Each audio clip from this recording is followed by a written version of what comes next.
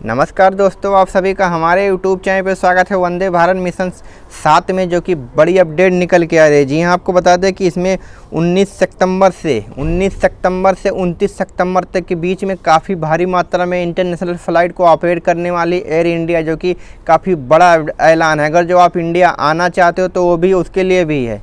और जाना चाहते हो तो उसके लिए भी है तो वीडियो पूरा ज़रूर देखो चैनल पर नया तो सब्सक्राइब कर दो, साथ ही वीडियो को लाइक कर दो, बेल आइकन को ज़रूर प्रेस कर दो। सबसे पहले बात करें कि आप अगर जो बहुत सारे लोग ये क्या सोच रहे थे कि केवल आने के लिए, लेकिन आपको बता दें, पूरी जानकारी ये है कि आप आ भी सकते हो और जा भी सकते हो। तो दिल्ली हो गया, दिल्ली हो गया, कोलकाता हो गया, हैदराबाद हो गया मतलब मुंबई हो गया, बहुत सारे बड़े बड़े एयरपोर्ट हैं, जहाँ से स्पेशल फ़्लाइट मतलब वंदे भारत मिशन की ये लॉन्च की गई जो कि काफ़ी बेहतरीन है। अगर जो सबसे पहली फ़्लाइट की बात करें तो ये आपको बता दें कि यहाँ पे जो ऐलान किया गया, ये सिंगापुर के लिए है।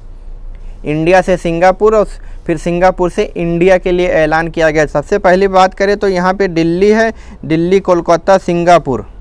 समझ सकते हैं। मतलब पहले दिल्ली के से उड़ेगी कोलकाता के लिए, कोलकाता से फिर ये सिंगापुर के लिए फ़्लाइट जाएगी जो कि फिर वापस भी आएगी सेम उसके बाद फिर बात करें तो आपको बता दें, ये दिल्ली हैदराबाद, दिल्ली से हैदराबाद फिर ये सिंगापुर के लिए जाएगी। मतलब पहले वाया फ़्लाइट हो जाएगी सेम इसी तरह सर, वहाँ से भी आने में भी रहेगा। आपको बता दें, दिल्ली, हैदराबाद मतलब सिंगापुर से हैदराबाद आएगी, हैदराबाद से दिल्ली इंटरनेशनल एयरपोर्ट पे आएगी। उसके बाद फिर बात करते हैं तो दिल्ली, मुंबई, सिंगापुर।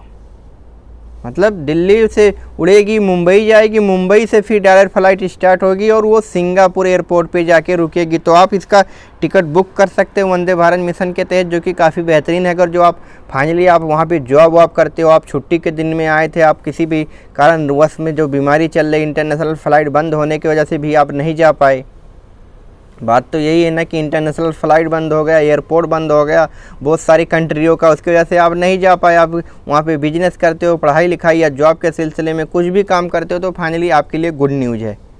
आप टिकट मतलब बुक कर सकते हो एयर इंडिया के ऑफ़िस पे भी या फिर ऑनलाइन भी बुक कर सकते हो, इसमें कोई प्रॉब्लम नहीं होगा, जो कि आप बोलते हैं मतलब 19 सितंबर से लेके 29 सितंबर के बीच में ये फ़्लाइट चलाई जाएँगी। तो इसमें आप कोलकाता एयरपोर्ट के लिए भी हैं, क्योंकि बहुत सारे लोग कमेंट कर रहे थे कि कोलकाता एयरपोर्ट कब स्टार्ट होगा। तो फाइनली उनके लिए भी गुड न्यूज़ है, सिंगापुर में जो कोलकाता के एयरपोर्ट के नागरिक वहाँ पे बजे हुए हैं, वो भी आ सकते हैं।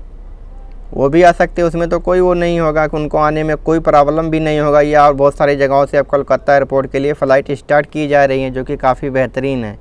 तो ये थी अपडेट जो कि एयर इंडिया ने खुद इस अनाउंसमेंट किया। तो फाइनली आप 19 से मतलब 29 सितंबर के बीच में आना चाहते हो, जाना चाहते हो तो टिकट बुक कर लीजिएगा। वीडियो अच्छा लगा लाइक करिए, चैनल को सब्सक्राइब कर दीजिएगा। नमस्कार।